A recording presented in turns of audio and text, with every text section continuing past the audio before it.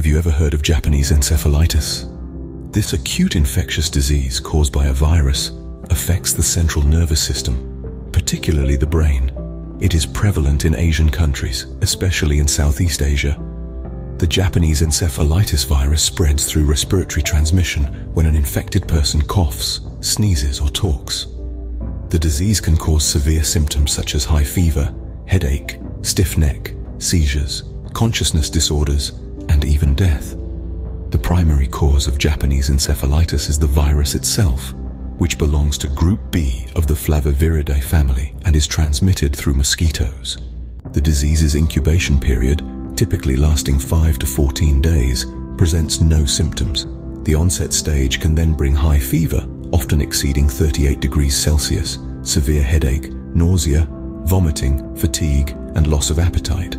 The neurological stage may involve stiff neck, seizures, consciousness disorders, confusion, coma, facial or muscle paralysis, and language disorders. During the recovery stage, some patients may fully recover, while others may face long-term neurological sequelae such as paralysis, epilepsy, and mental disorders. Diagnosing Japanese encephalitis involves a clinical examination where a doctor will inquire about your medical history and symptoms and conduct a general examination. Blood tests can help determine if you have contracted the Japanese encephalitis virus. A cerebrospinal fluid test can help identify if the virus has infiltrated the central nervous system. Currently, there is no specific cure for Japanese encephalitis. The primary treatment goal is to support the symptoms and prevent complications. Treatment measures include respiratory support through ventilators if the patient has difficulty breathing, fever reducers like paracetamol or ibuprofen, anticonvulsants for seizures, diuretics or corticosteroids to reduce brain swelling, nutritional support via intravenous feeding if the patient cannot eat or drink, and prevention of severe complications such as paralysis, epilepsy and mental disorders, which requires close monitoring to detect and treat promptly.